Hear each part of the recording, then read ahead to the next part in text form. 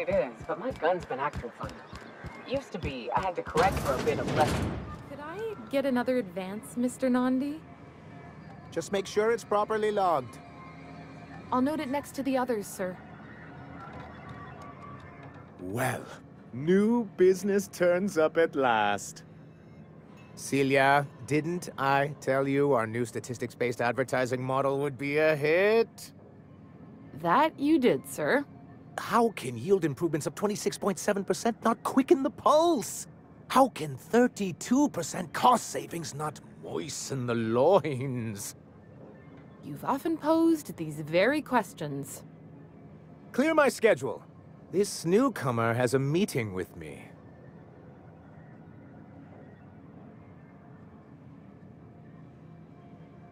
Celia, will you make a note of that for my self-review? Very generous. Noted. But not so generous I can't drive a good bargain. Now, who sent you? Rizzo's, perhaps? Or Auntie Cleo herself? G oh. I suppose that means you aren't here for the Saltuna. Oh, a shame. I'd been saving a bottle of iceberg-aged whiskey for an occasion like this. Seems like you're having a rough time, Mr. Sanjar. Are you doing quite all right? Oh, don't worry on my account. This is merely the latest in a long line of professional erotic and athletic disappointments. I had hoped that livening up our advertisements with enticing figures would draw the other corporations back to our bosom, but it seems we're back to the drawing board.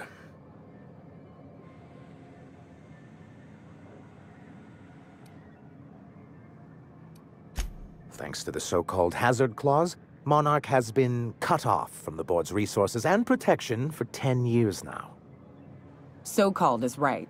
We've got our hazards, but we're still here, damn it. The board took off without so much as a thought for the folks left behind. I don't... Dang it, Captain, that's not right. Folks on Monarch shouldn't have to suffer just because the board says so. Now, we've kept ourselves in business by trading with individual corporations, but given the off-the-books nature of those transactions, such arrangements are precarious.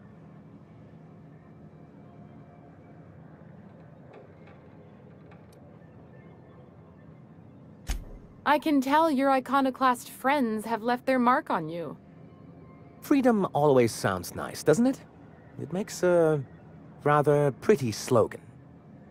But if you sit down and tally up the costs, how you provide for yourself in the absence of aid, how you protect yourself from a hostile galaxy, it starts to lose its shine. Indeed. Mr. Nandi here has a rather ingenious plan to get MSI restored to the board. On our terms, mind you. A lot of good that'll do. They'll just find another reason to turn tail and abandon you. Not if we secure the proper safeguards first. And if our advertising scheme hasn't borne fruit, then perhaps it's time we took matters into our own hands. It's true, our Celia is an alarmingly competent middle manager. At any other company, she'd be wasted in data entry. The plan she refers to is a two-pronged approach, and the first part involves seeing Stellar Bay properly defended.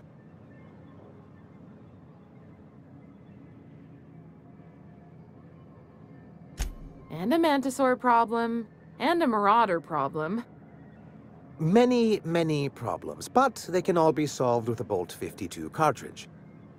If you can get us what we need to rejoin the board, starting with the Bolt 52, we won't need to advertise anymore. We can stop our transmissions altogether.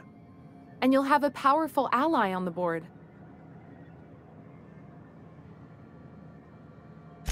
Why, one of the strongest defenses in Halcyon. An extremely powerful ordnance.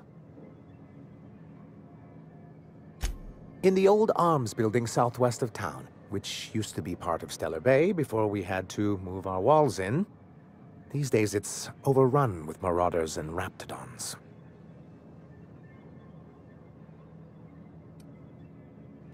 Do be careful. I've lost more than a few people to marauders and raptidons out there. Oh, and while you're at it, there should be a terminal in the arms building with some dangerous information. Perhaps you could delete it so it doesn't fall into the wrong hands.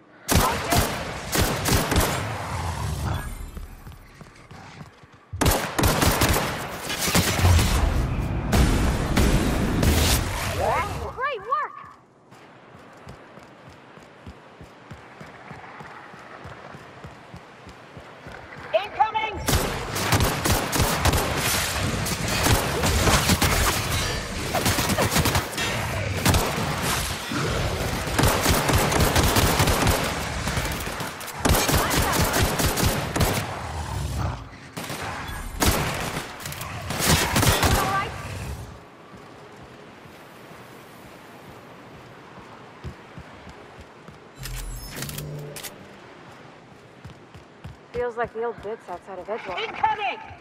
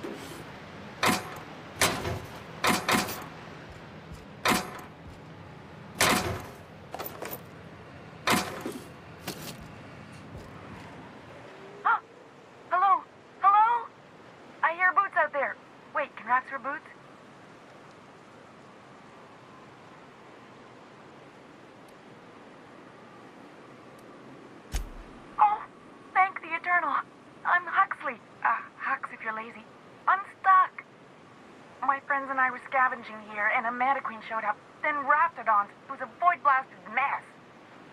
I ran in here, and, um, now the door's locked. Little help? It's easier than it sounds, all right? Next time you get chased by Raptidons, you let me know the rationality of your decisions.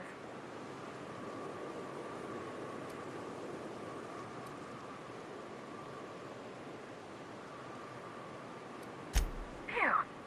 Thanks, lady. My buddy had a key, but I ain't heard him in a while. He locked me in here and took off. Probably got munched. So look a dead guy, I guess. Or a rat. Maybe it's in a rat belly. Gross.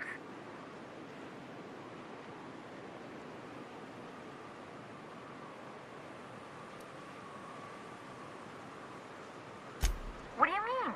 It's locked.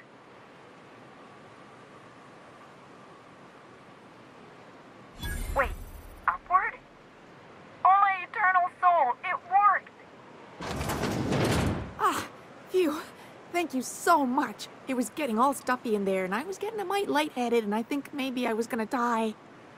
Now I'm out here, and I'm headed back to Amber Heights. Still landing yourself in trouble, eh, Hux? Oh, hi, Nyoka. Um, you mind giving me an escort back home? I'm... Oh, you're traveling with someone. Never mind.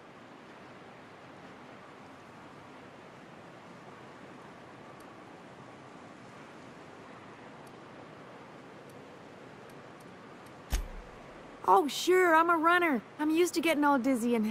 Hey, who's your identical, slightly blurry friend?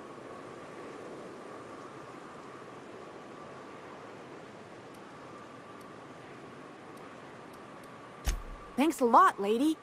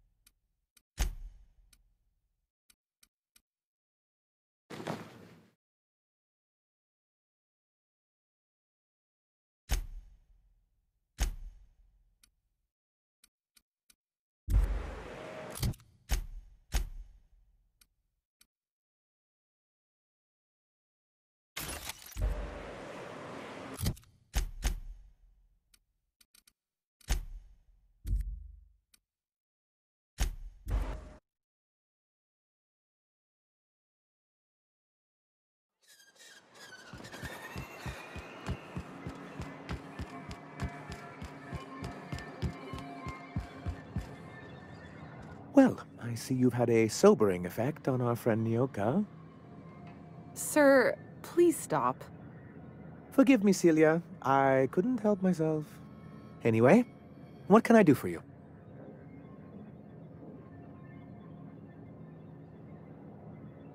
You weren't supposed to look. I asked you to delete it.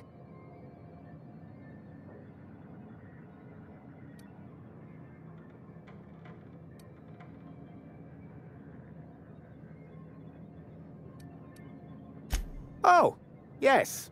No doubt someone else was having a laugh at my expense before you. This has been my albatross. The great shame of my career. I give MSI everything. My work, my youth, my left kidney, and for years, I was a joke to them.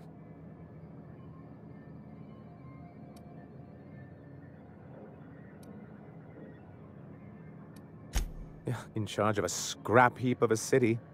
Abandoned by the board and surviving only through the hypocrisy of our trading partners.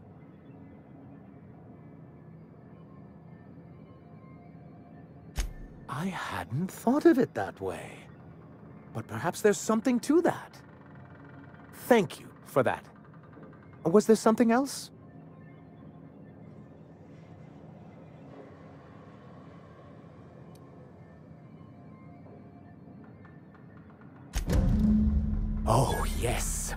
I'm going to be up all night with this. All those blanks waiting to be filled, boxes waiting to be ticked.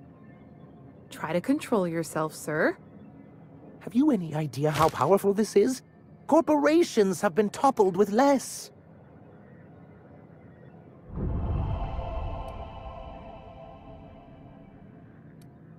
What a question!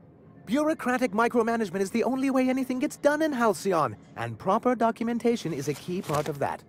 For our part, a bill of liquidation slash transfer Form 52 will protect our holdings on Monarch by temporarily assigning them to a pass-through entity once we drop our bomb on the board.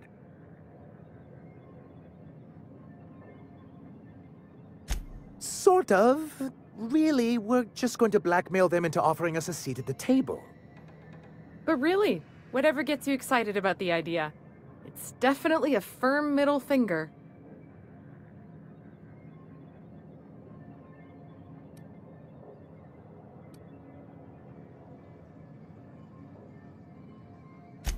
Help us with this final matter and we won't need to broadcast anymore.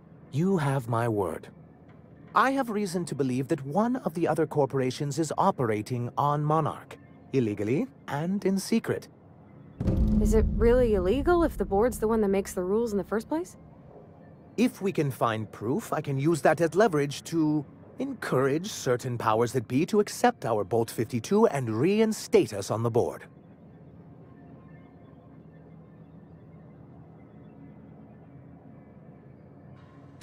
You really think so? I admit I've been hatching this scheme for quite some time. I just needed someone capable to help me carry it out. If someone is operating here, then Catherine's almost certainly supplying them out of Fallbrook. Perhaps she could be convinced to tell you where they are.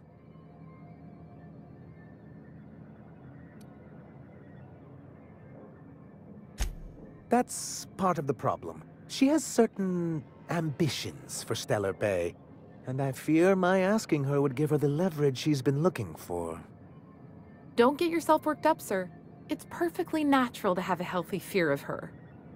We really don't need to discuss this now, Celia.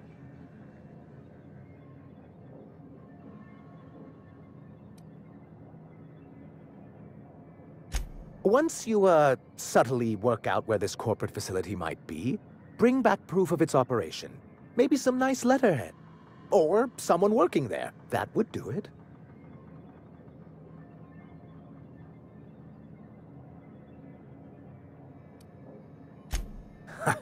I knew you were the right person for the job. I suppose I'll leave you to it.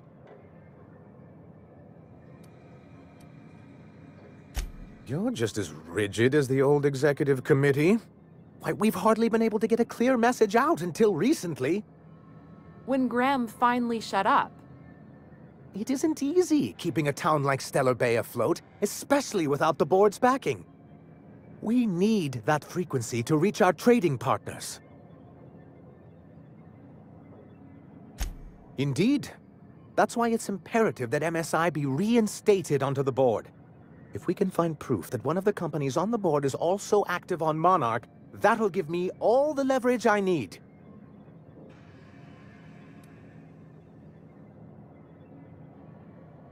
You have my word.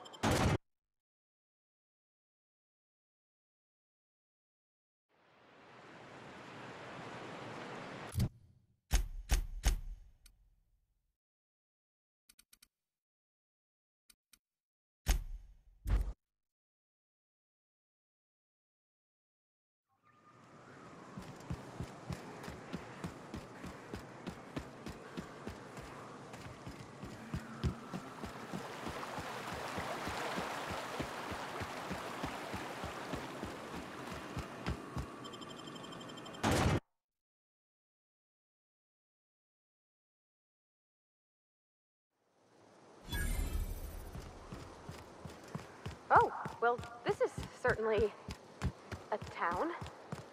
I think. Fallbrook's great. Anything you want, they've got it. So long as you've got the bits. Come with me to Stellar Bay. The boss lady told me to take the night off.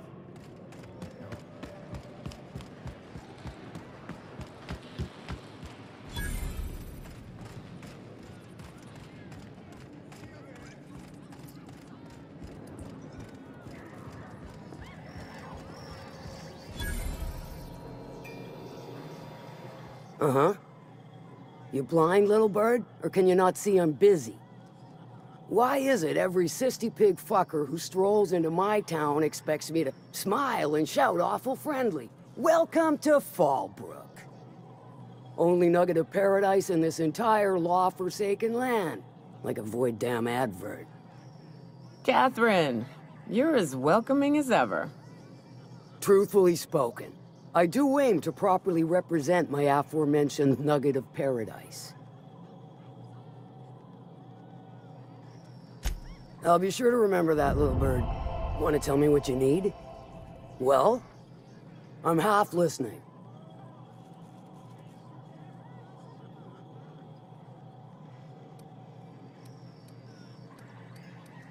Might be I know something about it. Might be someone hired my crew to blind drop supplies on the Northern Bridge. Might be they sure as shit weren't pirates. Now that I consider it, I ain't heard from my delivery team in far too long. Find them for me, and I'll pay you handsomely.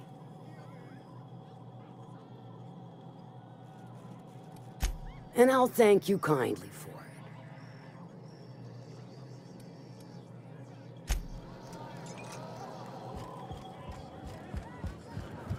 I don't.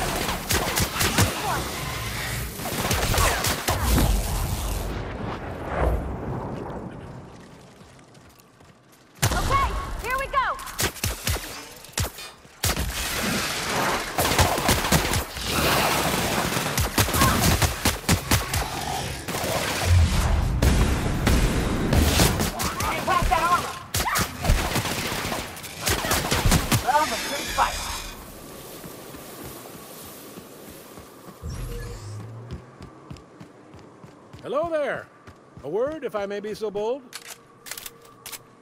Well now, here I thought those Mantisaurs had peacefully exited the premises. But you're a simpler explanation. Thanks for the assistance. Name's Weston. Every once in a while, I set up shop along these here roads. You find yourself in need of resupply, you come on by. Care to purchase a thing or two?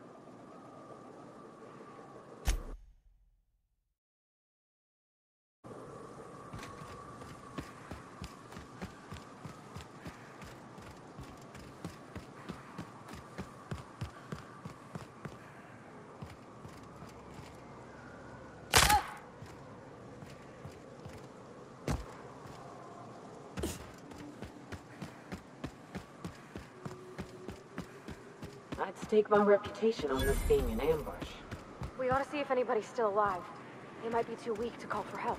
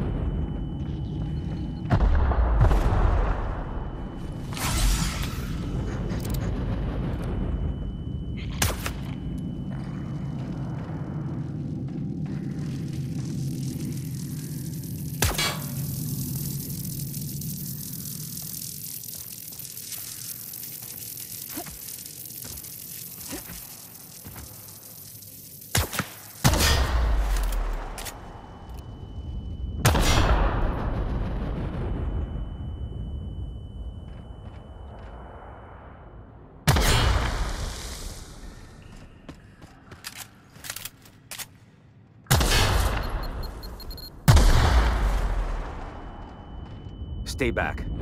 I may be wounded, but I'm still armed. How'd you get past my traps anyway?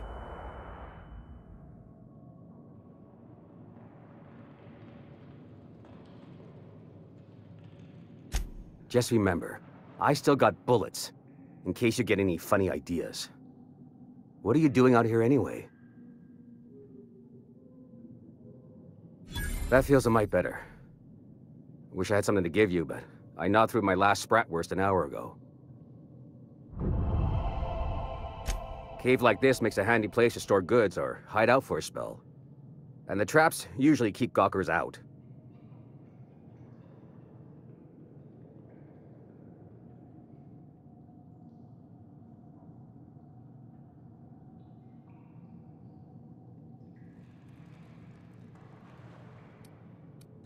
Nice to know she cares. Catherine had us making drops for some big shot client out here. And before you ask, I don't know who they are. Or were. The whole point of making drops in the middle of nowhere was to keep their identity and whereabouts a secret.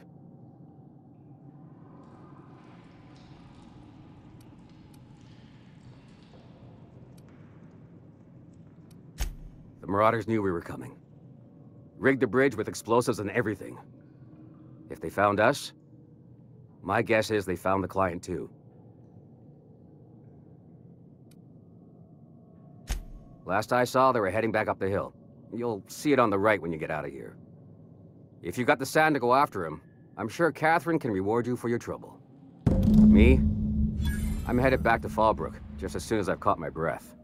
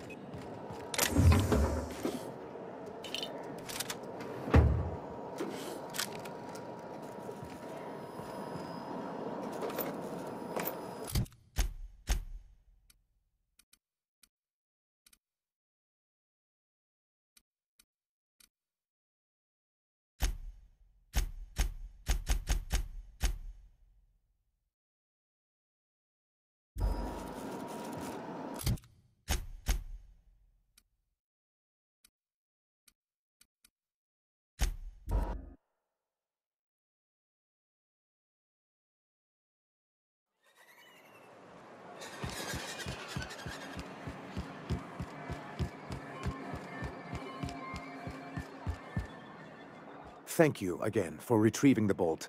It's every bit as complex as I'd heard, but uh, I'm up to the challenge. Anyway, what can I do for you?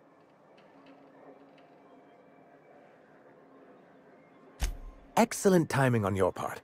I worked my fingers to nubs, but I've finally completed the Bolt 52 form. I dare say it will be my second greatest achievement after the Reformations. You're getting ahead of yourself again. So I am. Do you have this cartridge?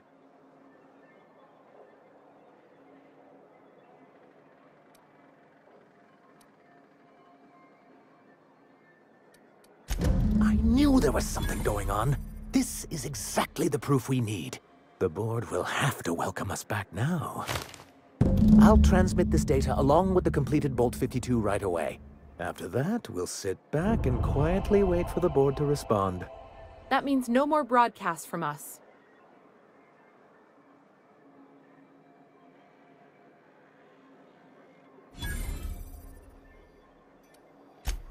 I see. And was his delivery of the MSI authorized greeting up to snuff? Well, that's excellent. I'll see that your feedback makes it into his review. What else can I do for you? Then it's good that I keep such meticulous notes.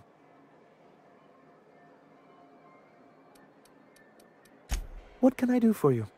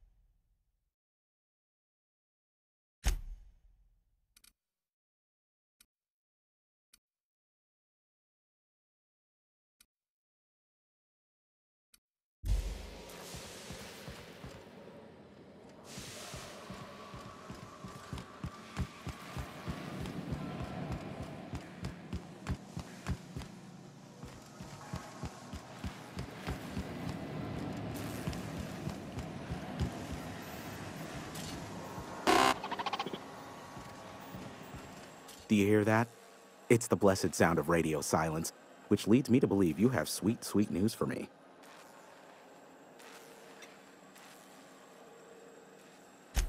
Yes, indeed. I am back in business. But before we get down to it, might I ask how you handled the problem? In the end? We did what we could, as best we could. Should probably leave it at that. Hmm, is that so?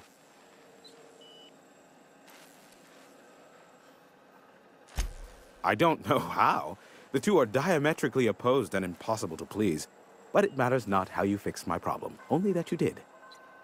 I don't doubt that you are working with Phineas, but my contract specifies I relay any acquired information to the purchaser, and to the purchaser alone. However, to send the data, I will need your assistance in cycling the antenna's receiver, so I can input the needed adjustments.